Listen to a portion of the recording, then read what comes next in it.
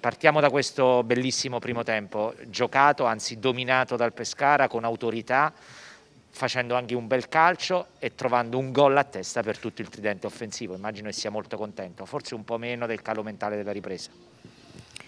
Abbiamo fatto un primo tempo buono, aggredendo anche perché loro cercavano di far eh, circolare la palla.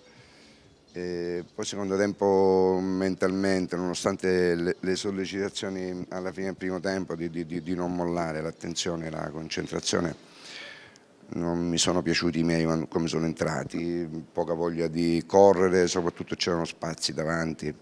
E non hanno fatto subito bene Ferrari, Rauti e Dursi, Dursi e Rauti hanno gamba, erano le situazioni congeniali a loro e quindi un po' ci siamo adeguati. Con i cambi siamo un po' migliorati da questo punto di vista, però loro in realtà hanno cambiato totalmente atteggiamento, hanno, hanno, hanno schierato 4-5 persone davanti, avevano fisicità, giocavano questi palloni lunghi e noi abbiamo sempre chiuso bene, però ci è mancata spesso quando, quando chiudi l'azione difensiva, la capacità di riproporre rapidamente gioco e in questo dobbiamo essere più coinvolti tutti, centrocampisti, difensori, anche gli attaccanti.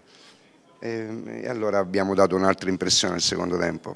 Questo è un secondo tempo che rivedremo perché loro sanno quello che avremmo dovuto fare. Insomma, non è contento neanche oggi? No, non è che non sono contento, è che e che bisogna fare sempre le stesse cose, ecco qual è il motivo. Allora io adesso provo già a fare la classica domanda mia in chiave carrarese così si arrabbia per le future, per le eventuali scelte. Questo Ferrari, lo abbiamo ascoltato in settimana nella nostra trasmissione a Cenacon, ha detto io sono pronto se il mister mi chiede di fare due partite anche in 72 ore, lei invece a dicembre aveva detto che per struttura fisica preferiva non fargli fare due partite consecutive, questo Ferrari non può non farle. No, ma guardate che Ferrari adesso per il percorso fisico di lavoro che ha fatto è un altro giocatore rispetto a quello di prima, si vede anche in campo, giocatore più mobile, più agile, poi lui determinate qualità in area di rigore ce li ha sempre però oggi mi è sembrato anche lui appagato nel secondo tempo come, come Rauti e Abbiamo capito, poca, è arrabbiato. Voglia, poca voglia di correre. No, ma io sottolineo le cose che vanno migliorate perché ci mancherebbe altro. Senta, le dico una cosa. Le abbiamo dico. anche gestito i cambi perché fra tre giorni si rigioca. Le dico una cosa, Auteri, poco fa il presidente Sebastiani ha detto che tra questa sera e domani arriverà Cernigoi, che è l'attaccante che diceva lei in conferenza stampa ieri. Insomma, che ci dice su questo attaccante, caratteristiche? È una prima punta, un giocatore non un velocista sicuramente, però ci serviva un giocatore così per completare il reparto offensivo. Non simile a De Marchi.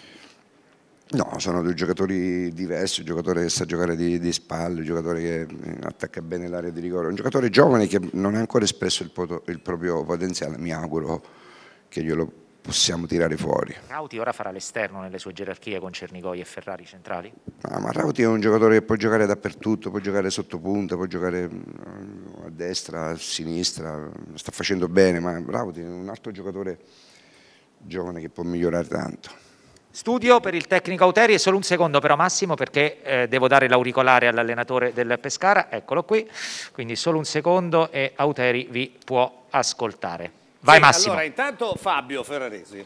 No, io mister eh, mi ricollego alla domanda e alla considerazione che ho fatto prima col Presidente. Eh, lei nella sua storia eh, più o meno, mi ricordo, di, credo di non sbagliare, ha sempre allenato più o meno gruppi abbastanza, non dico vecchi, ma esperti.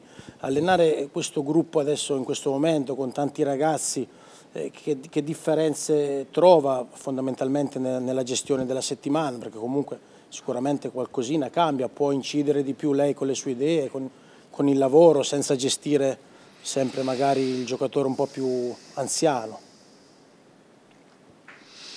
No, beh, nella mia carriera mi è capitato di allenare anche tanti ragazzi giovani che ho fatto giocare perché avevano qualità e struttura fisica e tecnica, ma nessun tipo di problema.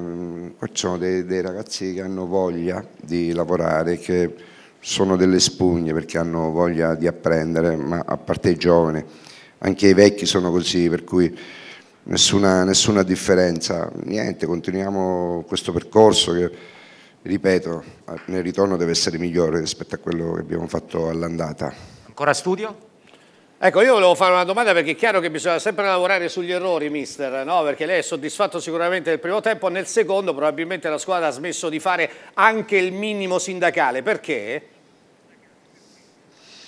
Ma no, ma per un motivo molto semplice, non siamo stati bravi a leggere, loro hanno cominciato a giocare palloni subito, lunghi, profondi, hanno fisicità davanti, si schieravano con, con 3-4 giocatori davanti e quindi noi abbiamo sempre chiuso bene, però non sempre siamo stati bravissimi nel, nell'evitare, dopo, dopo, la chiusura difensiva, nell'evitare la prima pressione e andare a giocare a campo aperto. Lo, lo abbiamo fatto nel secondo tempo una decina di volte, avremmo dovuto farlo dieci volte moltiplicato per dieci perché c'erano le possibilità per farlo e in questo non siamo stati bravi, siamo un po' accontentati di gestire il risultato ed è chiaro che quando pensi di gestire ti snaturi e, e questo non dobbiamo fare, non dobbiamo rinunciare a giocare. L'ultima mister perché deve lasciarci sì, sì velocemente proprio per inquadrare ancora meglio le caratteristiche di Cernigoi, lei è stato chiarissimo, diciamo che è un giocatore più incline a giocare con la squadra e per la squadra?